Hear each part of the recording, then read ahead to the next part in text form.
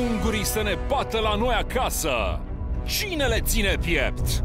Mândria Sucevei, Pitbull Todiresei, Necruțătorul Lupu și Ghiță Ignat, Ursul Carpatin, Voievozii Moldovei își apără regatul. Luni, 6 octombrie, de la 9 seara, în direct la sport.ro.